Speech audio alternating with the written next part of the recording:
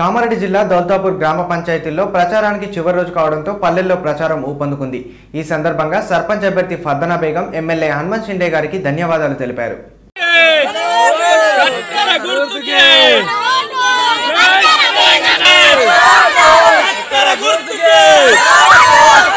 గుర్తుకే!